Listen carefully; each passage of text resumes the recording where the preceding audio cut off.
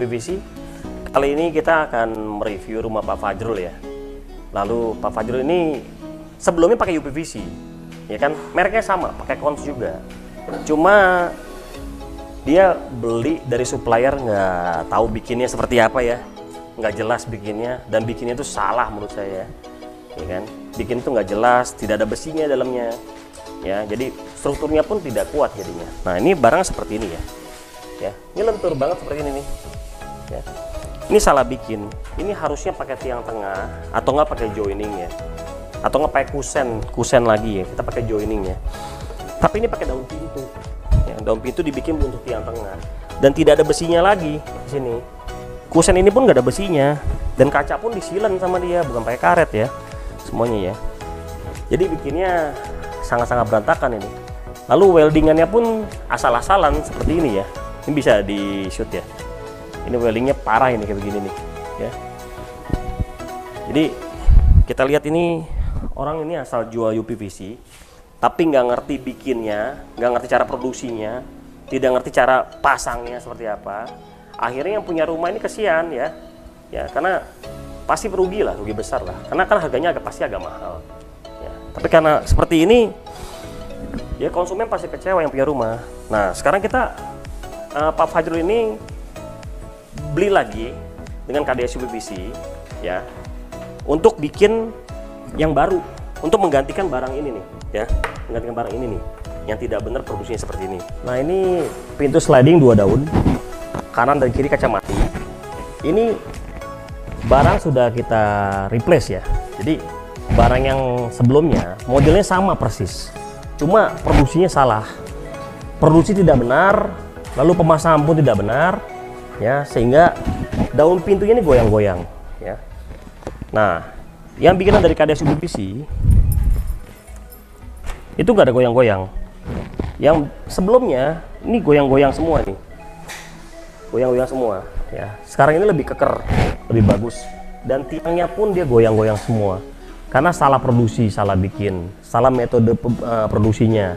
Metode pemasangan pun salah semua ya jadi UPVC memang sama mereknya sama-sama Kons ya. Tapi besi dalamnya beda hardware yang dipakai pun beda metode produksinya pun beda dan metode pemasangannya pun beda ya. Sehingga menimbulkan hasil yang tidak baik. Nah KDS UPVC kita punya metode produksi yang bagus dan benar. Produksinya pun semua kita ada QC nya pemasangan pun kita semua pakai QC dengan, dengan metode yang baik dan benar ya. Nah sekarang ini kita coba tes ya. Ini gesernya sangat ringan sekali. Ya sangat ringan sekali. Karena kita pakai roda roda HD tipe HD di bawahnya. Satu daun pakai dua roda. Nah roda HD itu adalah heavy duty. Jadi untuk beban berat. Ini pun sama ringan sekali ya. Dorongnya ya. Dan ini kita pakai standar kita stopper. Jadi ini tidak akan bablas ya. Tidak akan bablas. Kan pasti stop di sini. Dan ini pun pasti sama ya. Ini pun stop juga. Jadi tidak akan bablas ke sini. Itu metode dari KDS UPVC sistem sistem KDS UPVC punya stopper di bagian dalamnya. Nah, coba kita kunci ya. Nah kalau sudah stop seperti ini kita tidak perlu lubangin keramik. Karena ini bawahnya bolong ini lubang. Karena pintu yang lama pakai masih pakai flashboard bawahnya. Ya itu bikin jelek keramik. Keramik keramik jadi bolong ya. KDC PVC itu kita mencoba menghindari ya. Menghindari untuk membolongkan keramik untuk flashbulb karena tidak baik itu tidak bagus sekali ya. Nah cara buka tutupnya ya seperti biasa. Ya tutup seperti ini. Di engkol ininya tuasnya tinggal dikunci. Ya. Ini tidak akan gerak ini. Ya. Tidak akan gerak. Sama sekali tidak gerak. Karena kita punya stopper sistem stopper di dalamnya ya kiri kanan semua pakai stopper. Itu yang bikin tidak gerak. Ya jadi lebih rigid pintunya. Nah ini sistem kuncinya ya. Pintu yang sebelumnya pakai kuncinya single lock. Itu kunci untuk pintu kayu atau pintu aluminium dipakai.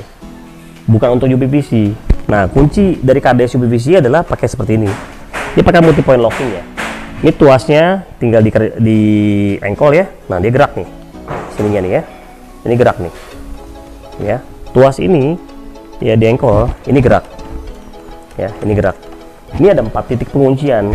Ini bawah dua atasnya dua. Jadi pintunya begitu ditutup ya tutup begini ya jadi rapat. Dari bawah sampai atas tengah semua rapat. Ya seperti itu. Nah kita lengkapi juga pakai mohair ya. Ini ada mohairnya ya. Kiri kanan pakai mohair nah mohair ini fungsi buat apa? Jadi biar lebih rapat lagi pintu yang lama tidak ada. Tidak ada mohair sama sekali. Tidak mohair tidak ada mohair jadi ini menyebabkan apa? Tidak rapat. Debu masuk semuanya. Ya. nah multi point tadi nyangkutnya ke mana?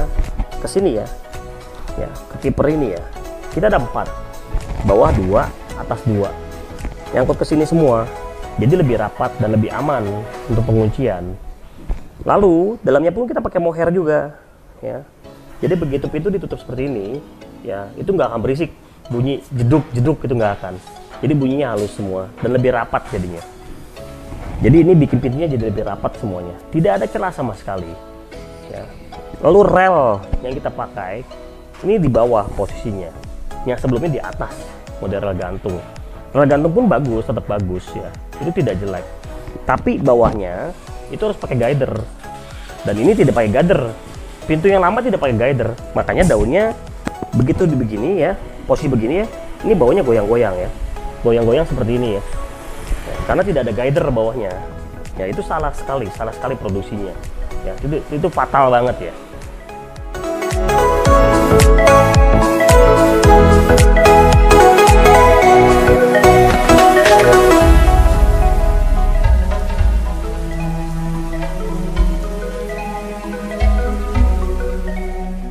Nah, ini salah satu contoh produksi yang salah.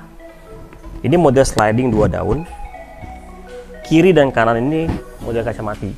Dia model pakai rel atas rel gantung ya. Nah, bawahnya harusnya pakai guider seperti yang tadi saya sebut ya. Pakai guider, tapi ini nggak pakai guider. Efeknya begini nih. Ini pakai jari goyang-goyang. Ya, pintu sangat ringkih sekali. Lalu handle dan kuncinya itu bukan untuk UPVC, ini untuk pintu kayu atau aluminium. Ya sistemnya seperti ini. Tidak pakai multi point locking. Ya hanya single locking ya seperti ini ya. Nah lalu sebelah sininya dia pakai slot bawahnya biar ngunci maksudnya. Ya efek goyang-goyang gini nih. Tidak pakai mohair semua. Ya, ini cara bikin yang salah. Lalu tiang tengahnya ini ya tiang tengah bagian luar ini ya. Ya ini goyang-goyang semua ini seperti ini ya ya jadi ini salah bikin semua salah produksinya. Ya nah, seperti ini nih. Ini tidak aman sekali pintunya. Dan dikunciin pun susah. Efeknya apa? Begitu dikunci. Seperti ini ya. Nah ini tidak rapat nih. Ada celah. Nanti kita shoot ya. Ini ada celah semuanya. Tidak rapat. Ini bikin debu masuk suara masuk semuanya. Ya. Yang paling parah ya ini semua kaca disilem tidak pakai karet.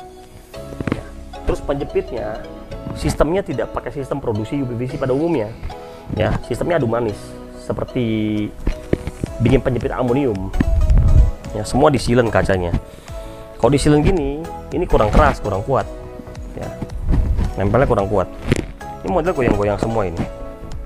Ya jadi ini sangat riskan tidak aman. Ini pintu. Ya ini pintu Nah ini kuncinya ya. Ini kunci yang dipakai seperti ini. Dia model buka, model cangkul buka gitu ya. Nah ini bukan kuncinya jelek, kunci bagus. Ya bagus tapi untuk apa? Untuk aluminium dan kayu. Untuk UPVC tidak cocok, tidak kompatibel untuk UPVC. Ya, sistem seperti ini ya. Lalu tidak ada mohair, jadi pintunya nggak rapat. Dan ini daunnya parah, ini goyang-goyang ya ini parah ini daunnya ini salah satu contoh, contoh bikin yang bikinnya salah ya. Ya produksi tidak tidak benar ya. Lalu pemasangan pun tidak benar. Ya efeknya seperti ini.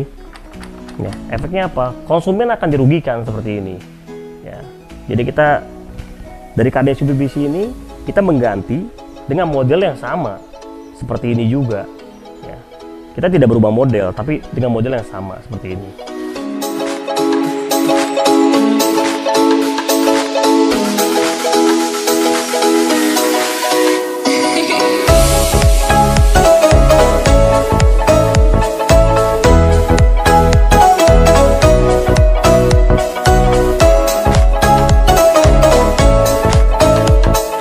Nah, pintu double swing ya.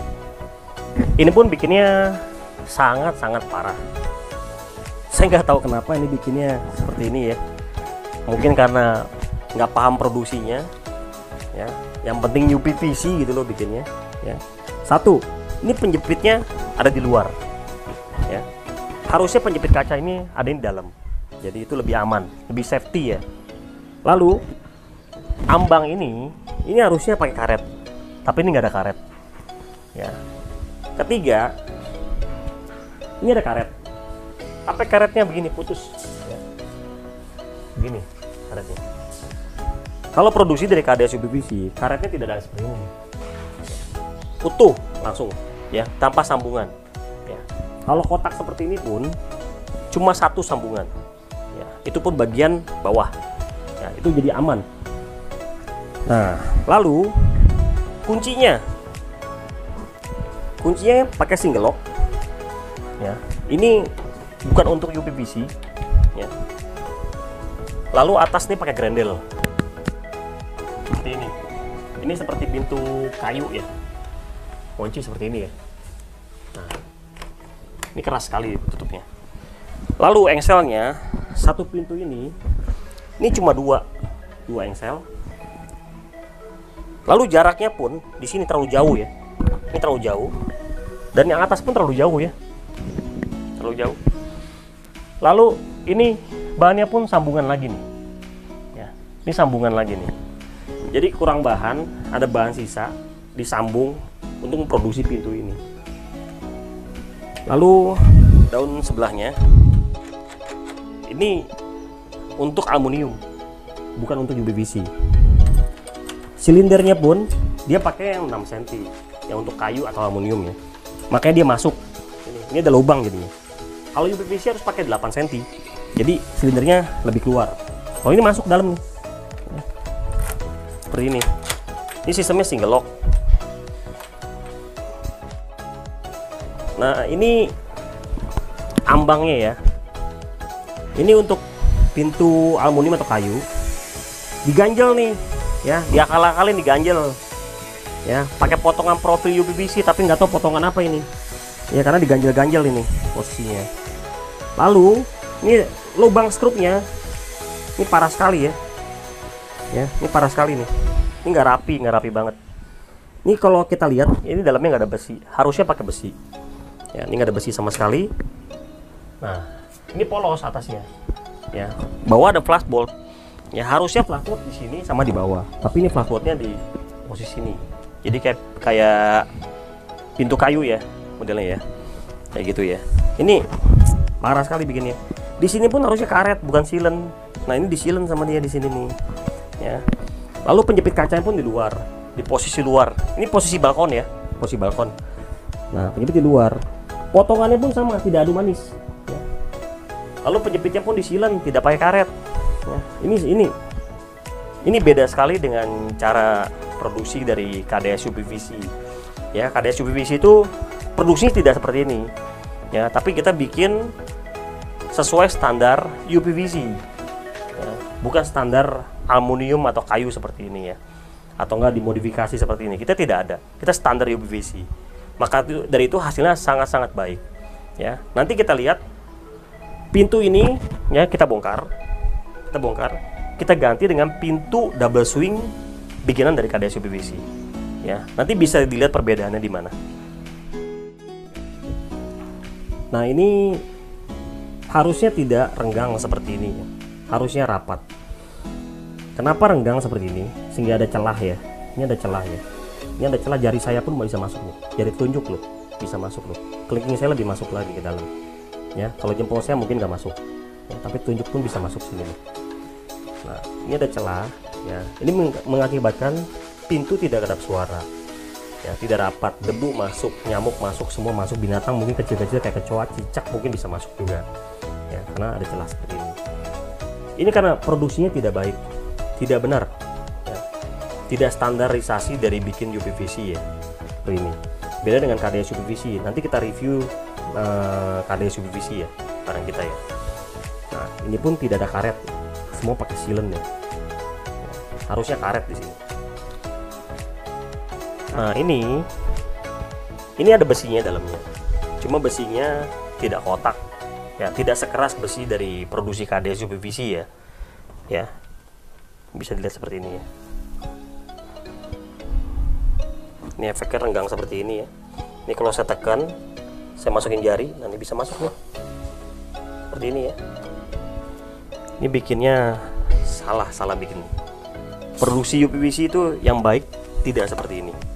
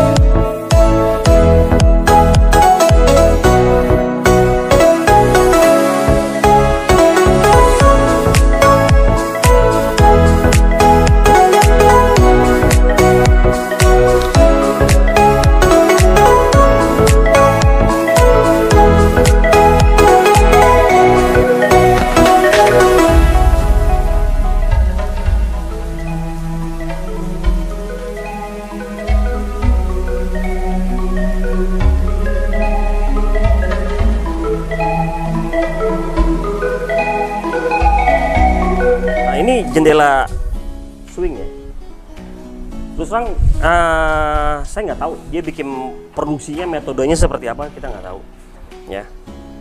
Tapi yang pasti ini parah sekali. Karena kenapa? Harusnya bahan daun jendela ini ini full satu batang utuh tanpa sambungan. Tapi ini ada sambungan, bisa dilihat nanti ya sini ya. Ini sambungan ini. Ya. Lalu casementnya, casement yang dipakai ya bawah dan atas ini casement untuk pakai untuk aluminium ya untuk aluminium pakainya jadi casementnya kecil sekali. Efeknya apa? Dibukanya tidak bisa full ya. Nah sampai segini mentok. Ya segini mentok ya. Mentok ya. Dan ini penjepit kacanya pun ya ini tidak pakai karet. Tapi disilen nih. Tidak pakai karet disilen tapi. Lalu potongan penjepitnya di sini itu tidak model adu manis. Tapi seperti aluminium potongnya ya. Jadi rata seperti itu loh. Ya ini ini udah menyalahi aturan untuk pembuatan PVC lalu di daunnya pun tidak ada karet. Di kusetnya pun tidak ada karet. Ya semua tidak ada karet. Ya ini yang bikin nanti begitu tutup seperti ini ya ini nggak rapat. Sama sekali nggak rapat jadi ada celah. Nah di sini bisa lihat goyang ya. Ya karena tidak bersih. Harusnya tidak seperti ini nih. Harusnya nggak boleh seperti ini ya ini goyang semua ya? Ya kalau goyang gini ini jadi nggak aman jendelanya. Nah ini casement yang dipakai ya. Nah seperti ini nih. Ini bisa dilihat. Ini casementnya bukan untuk UPVC ya. Ini saya rasa untuk aluminium ya. Bahannya pun karatan. Lalu ini ada bolongan ini ada coakan juga karena casementnya bu bukan untuk UPVC ya efeknya apa ini kegerus semua nih ya bahan UPVC semua pecacat semua ini sampai sini ya ya ini cacat semua ya ini lubang juga lubang nggak tahu nih bikinnya sangat kacau ya sangat kacau sekali ini dalamnya pun nggak ada besi sama sekali nggak ada besi. Nah ini sambungan nih yang tadi saya bilang ya. Ini ada sambungan. Harusnya ini satu batang utuh, tidak boleh sambungan seperti ini. Ya, ini bikinnya sangat kacau sekali ya. Lalu penjepitnya. Nah ini. Ini harusnya potongnya model adu manis, tapi ini enggak. Ini seperti ini dan disilen sama dia. Ya, ini pun harusnya karet. Tapi bukan karet tapi disilen sama dia. Ya, karena disilen efeknya apa? Efeknya jadi renggang seperti ini ya. Ini ada celah seperti ini. Kalau pakai karet tidak akan celah, nggak akan ada celah seperti ini. Ya, ini luar dalam disilen. Kalau produksi dari KDS UBBC ini harus pakai karet. Motongnya pun adu manis. Ya. Dan tidak ada seperti ini ya, sambungan seperti ini ya. Ya, tidak ada seperti ini. Kita profil itu profil UPVC-nya satu batang utuh, tidak ada sambungan seperti ini. Ya. Lalu casementnya kita gunakan untuk UPVC, ya, bukan untuk aluminium seperti ini. Ya. Terus daunnya ini pun tidak ada besinya, ya. Ini bisa dilihat ya. Ini goyang-goyang seperti ini ya. Ya. Nah ini jendela swing yang sudah kita ganti ya. Awalnya kan jendelanya kurang begitu bagus. Ini sudah kita ganti dari produk dari bikinan KDS UPVC. Nah seperti ini. Ini pakai engsel, tidak pakai casement karena tingginya 2 meter lebih ya. Lalu kita pakai windbreak bawah dan atas. Nah ini jendela lebih keker ya dibanding sebelumnya yang sebelum kita ganti jendelanya tuh kurang bagus, kurang manis, seperti seperti penjepitnya ya. Dia tidak adu manis. Kita punya adu manis ya. Lalu ditambahkan list regal, jadi lebih ke sana klasik dan lebih rapi rumahnya. Dan handle-nya kita posisikan di sini ya. Multi point-nya dari bawah sampai atas standar UPVC dari KDS UPVC. Kunci itu harus dari bawah dan sampai atas biar lebih rapat semuanya. Kita ada empat titik penguncian. Sebelumnya cuma tiga. Nah tutup begini ini langsung rapat. Lebih kedap suara dan pastinya tidak bocor. Jadi produksi yang benar adalah seperti ini. Tidak seperti sebelumnya ini yang benar kita produksi karena KDS UPVC itu bikin jendela, pintu, dan semuanya bahan UPVC nya kita melalui riset kita tidak asal bikin kalau asal bikin hasilnya tidak baik. Nah, setelah, setelah melalui riset, hasilnya seperti ini.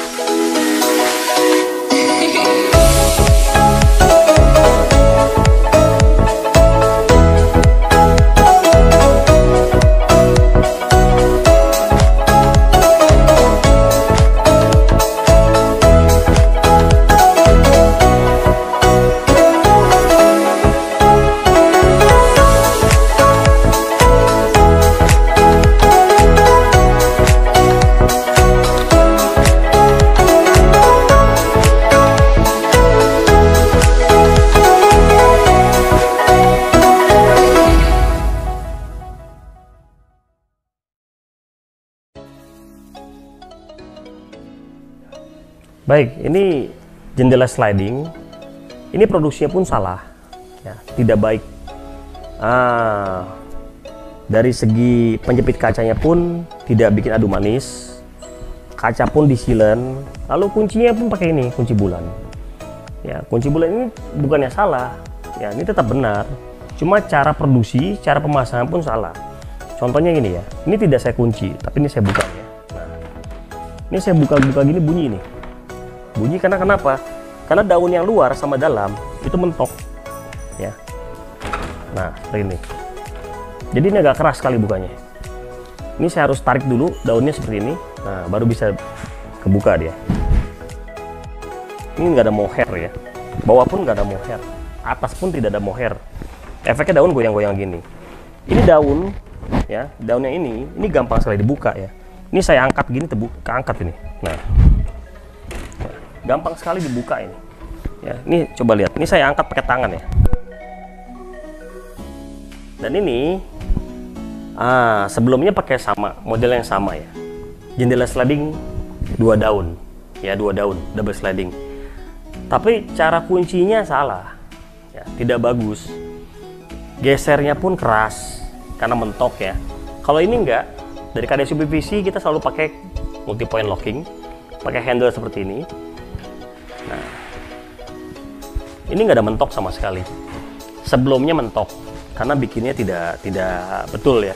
Produksi tidak betul masangan pun tidak betul hardware-nya pun pakai hardware bukan untuk UPVC jadi efeknya tidak bagus. Ini kita tambah lagi list regal. Karena dari pemiliknya minta pakai list seperti ini biar berkesan klasik. Sebelah sini pun sama kita bisa kita bisa geser ya. Seperti ini ya. Nah geser pun sangat enteng sekali. Ringan sekali. Kita lengkapi semua dengan drainase lubang air. Jadi kalau kena air nggak akan bocor kemari. Ya seperti itu. Ya. Jadi KDS PVC bikin jendela ini bukan asal-asalan tapi kita kita melalui riset. Riset yang benar-benar bagus. Ya kita tes hasil risetnya. Baru kita jual ke klien. Hasilnya seperti ini